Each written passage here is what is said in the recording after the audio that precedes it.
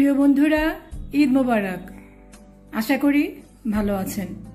ঈদ একদম চলে এলো আমাদের একদম দোরগোড়াতে। তাই আমি আজকে ঈদেরই একটা ডেজার্ট আইটেম শেয়ার করছি। এটা আপনাদের ঈদের দিনও যদি আপনারা না করতে পারেন, ঈদের দুই দিন, তিন দিন থাকে তো, তখন আপনারা বানাতে পারেন।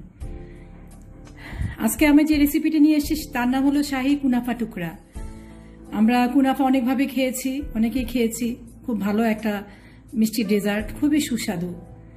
আমি এই কুনাফাটাকে একটু ডিফারেন্ট করে আজকে নিয়ে এসেছি। চলুন বন্ধুরা রেসিপিটি দেখি। শাহী কুনাফা টুকরার জন্য আমি প্রথমে ব্রেডকে এরকম চারদিক ফেলে মাঝখান থেকে যে হোয়াইট অংশটা, এটাকে তিন কোনা করে কেটে নিয়েছি। এবং আমি এখানে ইউজ করব আমুল গোল্ড লিকুইড মিল্ক এখান থেকে আমি দু কাপ মিল্ক নেব। এখানে আমি কিছু বাদাম কেটে নিয়েছি, এখানে চিনি আছে, এখানে আমি কিছু স্যাফরান গরম দুধে ভিজিয়ে রেখেছি, এখানে কন্ডেন্স মিল্ক আছে, এখানে পাউডার মিল্ক আছে, আর আর লাগবে আমার এখানে কিছু লাস্টা সেমাই, আর লাগবে ঘি।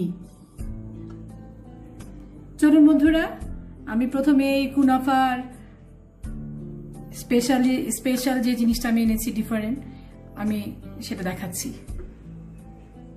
আমি ব্রেডের স্লাইসগুলোকে ভাজার জন্য ফ্রাই প্যানে ঘি নিয়ে নিয়েছি। এই ক্ষেত্রে আপনারা ঘিটা নেওয়ার চেষ্টা করবেন। ঘিটা গরম হয়ে গেছে, এখন আমি ব্রেডের স্লাইসগুলো দিয়ে দিচ্ছি।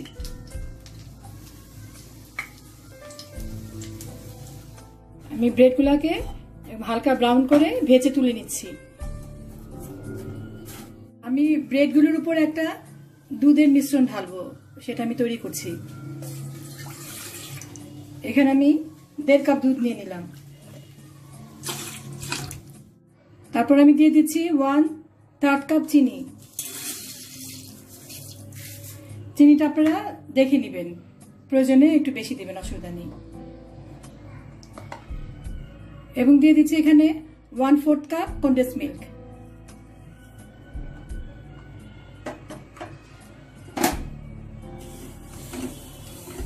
দুধের মিশ্রণটা প্রায় ঘন হয়ে এসেছে।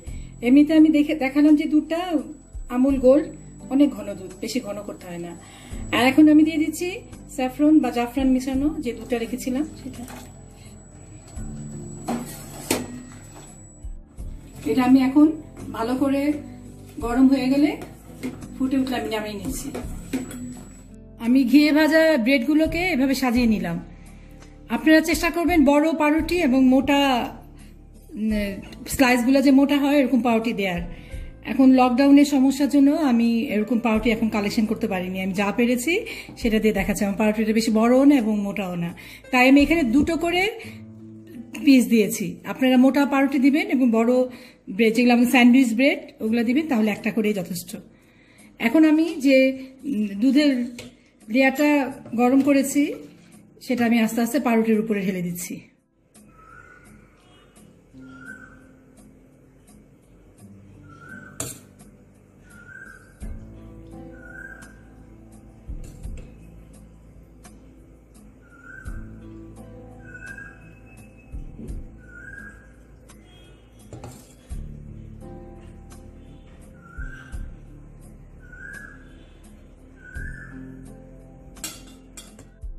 এখন আমি ব্রেডগুলোর উপরে অল্প অল্প বাদামের মিশ্রণগুলো দিয়ে দিচ্ছি।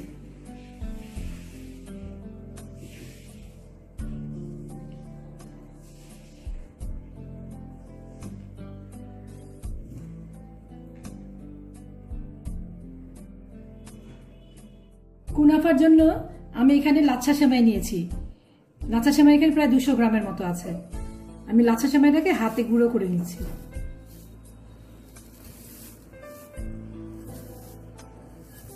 আমি লাচ্ছা সামাইটা ভাজার জন্য একটু ঘি দিয়ে দিলাম। লাচ্ছাতে প্রচুর ঘি থাকে, তো আমি হালকা একটু ঘি দিলাম ফ্লেভারের জন্য।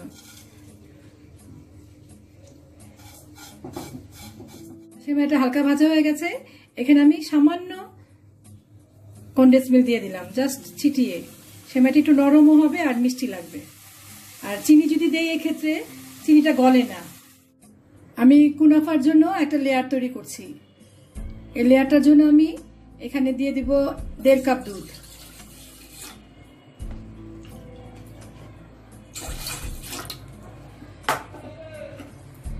দিয়ে দেবো এখানে one fourth cup condense milk.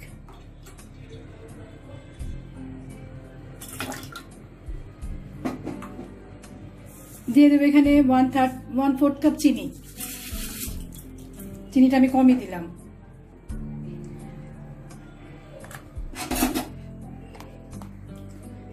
দিয়ে দিব আমি এখানে টেবিল চামচে দুই চামচের মতো পাউডার মিল্ক ভালো করে মিশ্রণটি গুলিয়ে নিচ্ছি। আমি হাফ কাপ দুধের মধ্যে টেবিল চামচে দুই চামচ কর্নফ্লাওয়ার গুলিয়ে রেখেছি। আমি দিয়ে দিলাম কর্নফ্লাওয়ারের মিশ্রণটা। এখন আমি একদম ভালো করে নেড়ে এটাকে ঘন করে নিব। আমার লেয়ারটা হয়ে গেল। দুধটা ঘন হয়ে গেল। কর্নফ্লাওয়ার দেওয়াতে দেখুন কত তাড়াতাড়ি ঘন হয়ে যায়। এই অবস্থায় এই ঘনত্বটা আমরা নামাবো। বেশি ঘন হয়ে গেলে পরে শক্ত হয়ে যাবে। আমি এটা নামিয়ে নিচ্ছি। দুধে যে ঘন ক্রিমটা আমি এখন তৈরি করেছি, এটা আমি আস্তে আস্তে পাউডারের উপরে দিয়ে দিচ্ছি।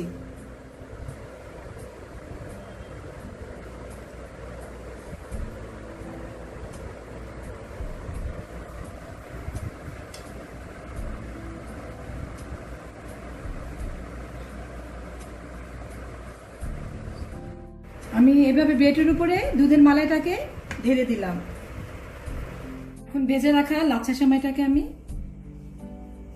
ব্রেডগুলোর উপরে দিয়ে দিব।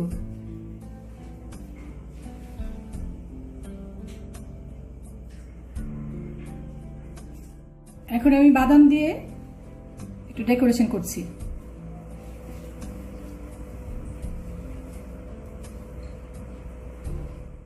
আমার শাহী কুনাফা টুকরা রেডি হয়ে গেল।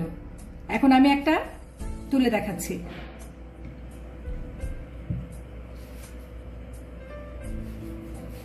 আমি এখন এটা কেটে দেখাচ্ছি। বন্ধুরা, তাহলে আজকের মতো বিদায় নিচ্ছি। এখানেই শেষ করছি। আবার দেখা হবে নেক্সট রেসিপিতে বাই